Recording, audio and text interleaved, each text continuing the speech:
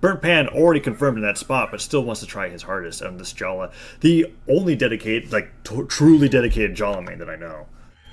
Three, two, one, brawl! All right, well, in we go. Burnt Pan's, of course, going to be playing his uh, Jhala. I think he's like the only dedicated Jhala main that I know of. But uh, Ornamus is going to be playing Gnash. I have not seen enough Gnash. Ever since Chewgum stopped playing, there's just been zero Gnashes. Yeah, I'm trying to think. Yeah, Chugum was like the whole entire like random first Gnash forever. That was just, like his idea. And then we have Milo, uh, who is from Brazil, who's talking to chat, who's a dedicated Gnash main, at least plays quite a bit of it. But that's he's not on NA. We don't have very many Gnash players, and Ornamus is actually making it work. Recovery comes out. It, it's interesting to see. Avoids that side stick. That was such a hard read. Burnt Pan was assuming that Ornamus was going to continue with the momentum, and he just stopped and waited. That was crazy. Yeah, that was pretty good. Reading that signature usage from Burnt Pan and punishing appropriately, but no KO coming out of it, and both players players are looking for their KOs right now. Ornamus looking for that down sig, but it won't come. And actually it's side aired off the edge. Burnt Pan with a small advantage here, getting the first stock. Yeah, it was looking a little bit bad for him, but Ornamus just lost that edge that he had at the start of the match. Now looking for a dive kick in. Nothing's really spawning in favor of him. If the gadget spawns next, that'd be pretty terrible. But Burnt Pan trying to guard that weapon fails, and Ornamus gets that spear, but only a delay in air to be able to punish him. Tries to come in with that signature, and it's the, the, the ground pound coming down. Doesn't KO. Yeah, Ornamus is looking for these KOs, but they're just not coming to him. Oh, Finally finds wow. That was that was the last thing that I expected to hit Burnt Pan. Like just a raw, like he's just sitting down there. All right, I'm just gonna down sig, smash to the ground. Rocks go flying, and Burnt Pan's stock is lost. Weapon toss, neutral light comes out. Tries to go for a double neutral light, picks the spear back up. He's tossing the spear into Burnt Pan's face quite a bit, and it's working out. Nair comes out, no recovery, but no punish. Yeah. Down sig from Gnash is one of those like signatures that's very hard, and depending on how much like input delay you have, it's sometimes even impossible to dodge it out of reaction. And considering how far it travels, if you can't dodge it out of reaction, it can catch you off guard a lot. And uh, Ornamus using that to get a KO, but he's already in kill percent, Ooh. eating a haymaker. That's gonna be a stock. It looked like Ornamus was trying to jump out of the way instead of dodge out of the way of that. He just was not fast enough. Gnash getting punched off the stock. Sidelights are coming out, and yeah, I'm trying to remember. I know they changed how Gnash's down down sig on hammer worked off stage if it didn't impact the ground, but then they changed it back. They reverted it, yeah. It's it's back to the old self. You can uh, actually true combo out of Gnash's down sig if you don't touch the stage. Interesting. I think it's the only uh, signature that you can follow up with a true combo. But, I uh, think the, dam- the damage in the knockback is significantly altered because it doesn't hit the stage, correct? Yeah, and that's why you can combo out of it. Weapons tosses exchanging there, but benefiting Ornamus, he manages to even up the stocks, but he's so heavily damaged. Well, Ornamus has to like play perfectly for a while now if he wants to come back. So far, so good, but he eats one. If he eats any more like hard-hitting moves, he's just done. A Sair will finish him. A Nair would finish him. A Dair would finish him if it was off stage. There's so much that you have to play around. And with so much to play around, it becomes impossibly hard to play around at all. But Ornamus so far was doing a good job, but yeah. Yeah, weapon was dumb. tosses. You can hit quite a few weapon tosses, but there's no follow up. It's not going to do a lot of damage. And one axe Sair is all that was needed for Burnt Pan to take Ornamus out. And game one goes to Burnt Pan in this winner's quarters match. All right. Well, Ornamus, it's awesome to see you play Gnash, but I don't think that's your uh, strong suit, unfortunately. Well, uh, it's it's hard to tell what Ornamus' strong suit really is right now. I think back in the day he played quite a bit of Bryn. Uh, and besides Mm-hmm. He's gonna that, stick with the Gnash. It- I mean, it- I'm not gonna lie. If he could make Gnash work, that would make me the happiest person alive. I used to be a dedicated Gnash main, and I gave up on him because I felt the nerfs to him were just too hard. And I feel like everyone else kind of agreed. Chugum stopped playing. People who used to play a little Gnash stopped. Like Dobrin hasn't played Gnash in forever. This character, this is probably the least played character in competitive play besides Sentinel, that I know of. actually no, Even I think- Sentinel has physic. Yeah, that's right. And- Sentinel actually has a dedicated main. I mean, And Maltonum, who also plays a lot of Sentinel. Yeah. Like, Sentinel's good. There's All right. no Gnash means.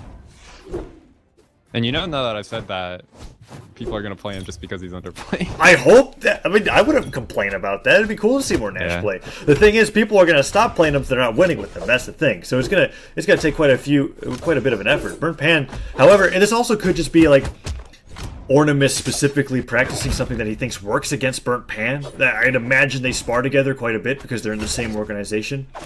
Ornamus going Hmm. into that ground pound recovery comes out, but whatever Ornamus normally plays, maybe he just doesn't feel like it works against Burns Pan Jaw. And a side nice comes side out. Ooh. Yeah, okay, so that'll be a very early kill for Ornamus.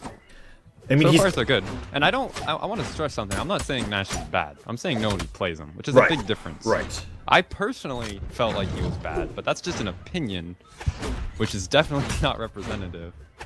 Like the way I played Gnash stopped working. That's why I stopped. I, I just imagine it was something similar with Dobrin because he plays like kind of spacing when he does it.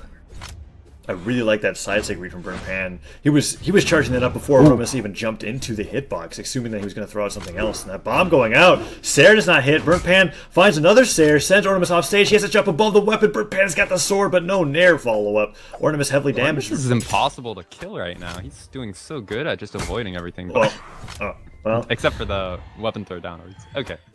Finally he dies, but he did do a decent number on Burnt Pan second stock. Even got him into orange with that Nair. nice downer comes out. Ooh.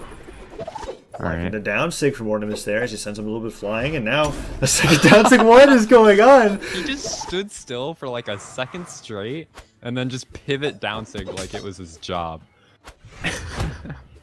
Those down six, that that's a huge deal. It's sending Burnt Pan flying into kill percent and Jhala three defense. You can't just be taking six to the face like that. I like the idea with those weapon tosses, but Burnt Pan managed to weave right through, and now he's putting the damage on. Nair comes out. Ornamus takes the stock, but he was sent from yellow to orange in what was looking like a really dominating stock. Still a pretty good stock. It's gonna take a little bit more damage until he's in kill percent. And in the meantime, he can try to get a little bit of damage, but Burnt Pan's making it hard. Eli Sarah comes out, tries to go for a rising Sair. Ornamus going for that weapon, lands. There's a neutral light before picking it up, and Burn Pan expecting a chase dodge, goes for that GCN sig. Ornamus doesn't run off stage for that, and now putting on a side like it's hit by that falling Sair weapon toss. Spike ball, more down throws, being the bane of Ornamus here, but he doesn't get the KO, and now he's got the hammer, denying all weapons from Burnt, and this is looking pretty bad. He gets kicked to the side. Ornamus finds his way back, and Burnt Pan with a ridiculous side sig there. Gonna get punished for that. And Ornamus is looking for the KO already. He has he's still got two stocks. Looking really good for him right now. Tossing that hammer up was in. Oh. Well, wow, okay. That's a two stock. Player two wins. That was really That is early. a two stock. And you know, Ornamus really utilized Gnash's signatures. He got the kill with the side sig, he got the two down sigs in the middle of the game. And um, that forced burnt pan for the entirety of the third stock to try to play around that stuff where Ornamus just beat him with weapon throws and standard hits. Um, that was really well played by Ornamus. And now we're going into game three. on Thunderguard Stadium, and no legend switches happening up here. I just realized that both players are playing legends with skins that have teeth coming out of the top of the mask. It's pretty good. Something to consider here is we got Gnash versus Yeah. Jhala. This is a really unfamiliar matchup for me. I mean, I mean Gnash matchups in general are pretty uncommon, but Jhala and Gnash in particular. Yeah, I mean, Pan's like the only person who consistently plays Jhala. There's a few pla players who like use her as like a counter pick or something because Yeah. I mean she's you know sword axe. That was cool. So Burnt Pan went all the way down so that he could catch the recovery when Ornamus tried to chase him. Ended up working out too. D-Line Sarah comes out, goes for that raising Sair, the rising Sair rather, and Ornamus punishes with a downer. Two downers coming out. Bomb. Oh, Burnt Pan barely dodges past another bomb. Ooh, Burnt Pan gets that Sair, but Ornamus was trying to look for that sidelight for Burnt Pan into the bomb, and that would kill him. At this percentage, it definitely would. Bomb goes off. Ornamus dodges out of that weapon toss, but Burnt Pan, he's got the lead again, and he's looking for these falling Sairs. He's not finding them. That's four Sairs in a row that he just tossed around the shenanigans, and that recovery does it. Recovery catches Ornamus off guard. He'll lose the stock, but he already has burnt and orange. Gnash Sigs kill ridiculously early, specifically the side sig and the down sig on hammer, and the side sig on spear. So he has multiple uh, ways to kill fairly early, and the side air might even do it on its own. Uh, something to consider: Gnash has seven defense. He can kill people very quickly. Did I say seven defense? you did. I meant seven Attack? Force. F- Yeah, force. Okay. I don't know why I said defense. And that, and Yeah. regardless, I know what you meant. And, and Burnt Pan with three defense is gonna struggle against that for sure. There's a nice falling neutral light comes out. Sair comes out for Burnt Pan recovery. Ornamus goes for that weapon toss combo, doesn't get the follow up, and Burnt Pan punches with the side light. He's got Ornamus nearing the orange. Ornamus not finding that nair as Burnt Pan just recovers high, and now putting up that side light. Not a lot of damage, but it's good interrupt and it puts people in a position to have some kind of follow up. Ormus is really utilizing these weapon throws to full advantage, which is something I like.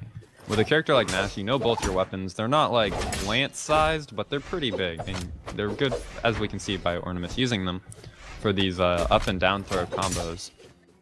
Uh, Burnt Pan's doing a really good job of playing around it though, and getting a lot of damage as he dodges past the weapon throws. Oh, that Sair was spooky. send him towards the mine. Another Sair comes out. Ornamus dodges out of the way of that neutral light. Oh, Go he down tried light. to do it again, but the bomb blew up early.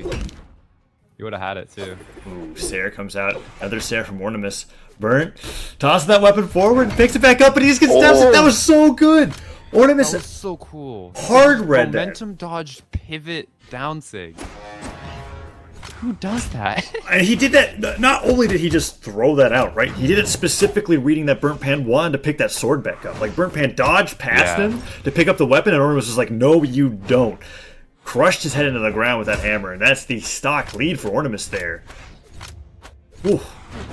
That was a really good read from Ornamus.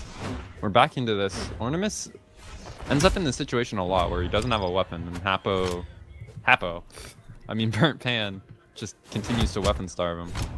But Ornamus finds the hammer.